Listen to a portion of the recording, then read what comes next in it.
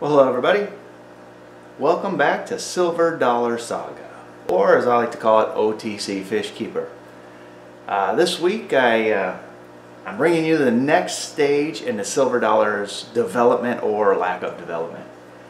For a quick recap, for those of you who don't remember, the Silver Dollars had their fins nipped all the way down to nothing. On their dorsal fin, their tail fin especially, their, their pectoral fins, pretty much everything that could be reached was reached. So I took one out of the tank to see if it healed, to see if they were doing it to each other, or to see if somebody in the, the angelfish tank was doing it. And the one I took out healed up, his fins all grew back, and the other one didn't, so I assumed somebody in the angelfish tank was doing it. So I took the other one out, put them back together.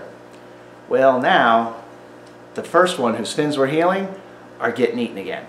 So that means that there's multiple culprits. Somebody in the angelfish tank is nipping fins, and the silver dollar fish are clearly nipping each other's fins because they're the only two in the tank now.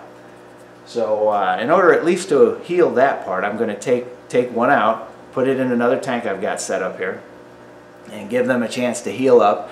And then, I don't know, I might try a large school, or maybe I'll find somebody with a large school and just donate these two guys to it so that maybe they can swim together and hopefully not eat their own fins. So uh, let me give you a peek here at what those fins look like uh, all chewed up here. Okay, got both of the uh, silver dollars here. And you take a look at the big guy. He's the one I left in the angelfish tank. See, there's still virtually no uh, tail fin on him.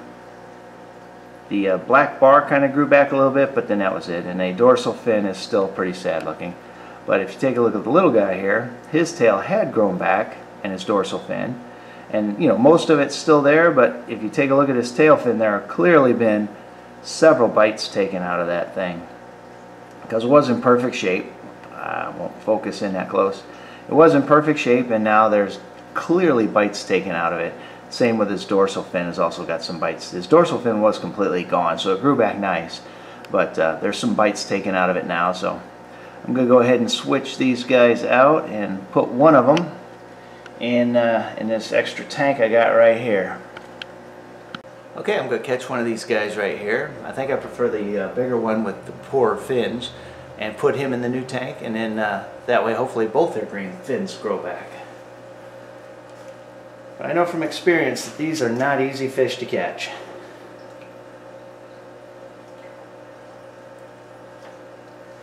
And of course he swims right into the net for me. Well, that was really nice and smooth, and I like the fact that there was very little stress. We were in, we were out, and we were done. So that was cool. Okay, we got the, uh, the big guy in his new home, one of my quarantine tanks here. So now over the next few weeks we'll have to watch and see if his fins grow back now that he's got absolutely nobody in there to eat fins for him.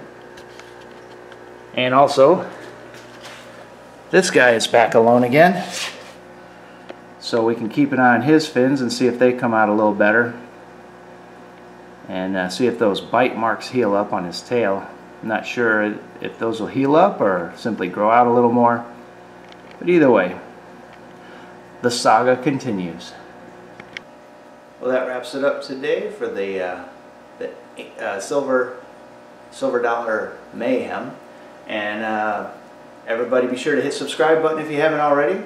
Thanks for coming along and uh, I'll close you out in front of my new favorite tank. I'm loving these new Oscars and this, uh, this Green Terror. My gosh, these guys are great.